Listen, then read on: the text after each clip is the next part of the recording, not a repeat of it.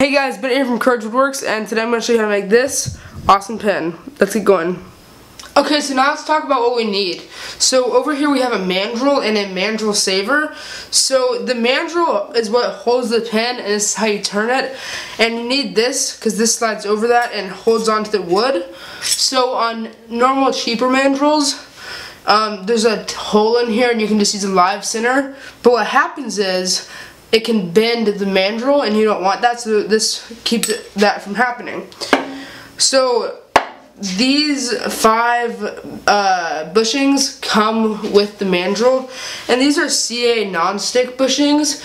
Uh, they're made of plastic. These are for applying the CA finish. Now all the stuff right here comes in a set except for the mandrel or except for the plastic bushings. So then you need a drill bit that fits the pin set. And what this does is it um, clears out any glue inside of the pin once you drill the hole and put the brass in. And then it also clears out any extra wood. Then you also need some micro mesh. And this ranges from 1500 to 12,000 grit. I also use a Stick Fast CA thin finish um, you can use a an accelerator, but what I found happens is it turns the glue white, so then it messes it all up. Also, you need a blank. I'm using Bubinga. You can make these yourself or buy them. I buy them. That way I can get more exotic wood that I don't have in my shop. Also, you need a square or something to find the center of the blank.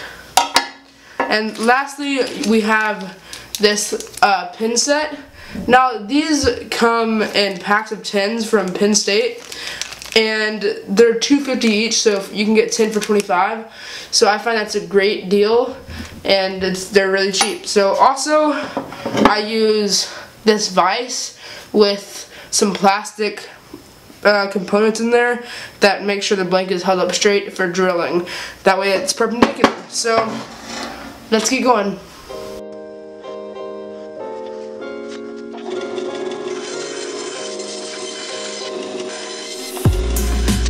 My bandsaw blade is super crappy, so it's just drifting a lot. That's why I got these super crappy cuts. But um, I just ordered a new bandsaw blade, so pretty soon I'll actually get some decent cuts. So let's continue with the video.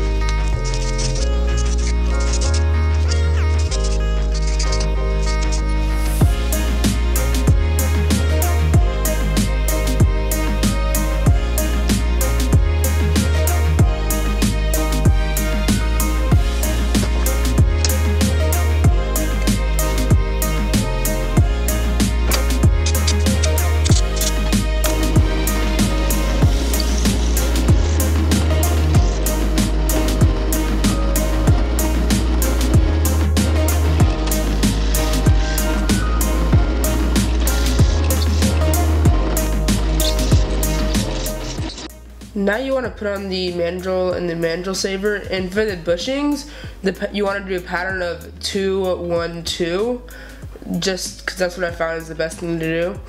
And I, you can really use almost any tool for turning these. I just found that carbide works the best. I used to use a skew chisel and it I just wasn't that good at using skew chisels. And then I started using scrapers and then I had I made these carbide tools and I just found that they are the easiest to use. Now when you're turning you want to turn to the highest speed your lathe can go. And for me that's 3600 RPM either, either 3600 or 3900 so um, you just want to do the highest because it, it creates less tear out and it's just easier to turn. So yeah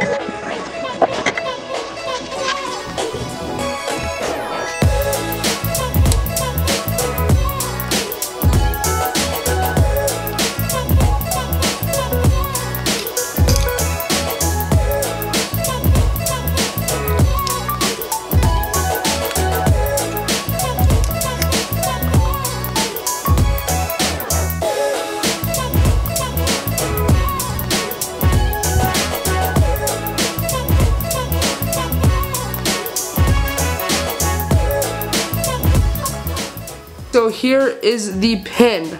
It turned out super, super awesome. Um, what I started doing is I started sanding it with normal sandpaper after the super glue. That way it would go down to the line. Because before what I did is I didn't do that. And then none of these would be perfectly flat. So it is perfectly level. There's no bump or anything. So this turned out really great guys. I hope you enjoyed the video. If you did, like the video, um, comment down below. Also help my channel out by hitting subscribe and never miss a video by hitting the no notification bell. So yeah, thanks for watching guys. See you next time.